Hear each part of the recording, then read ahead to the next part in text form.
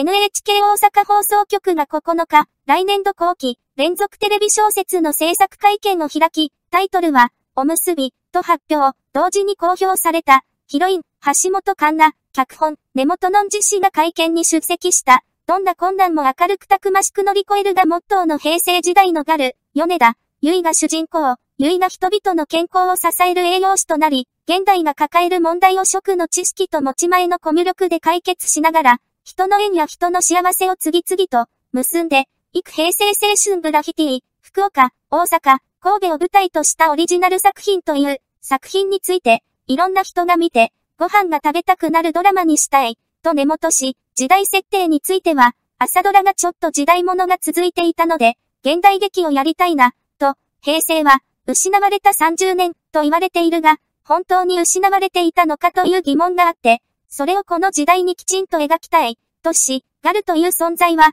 ある種ゆくらいムードをたくましく生き抜いた、その彼女たちの生き方も一つのテーマになっている、と説明した。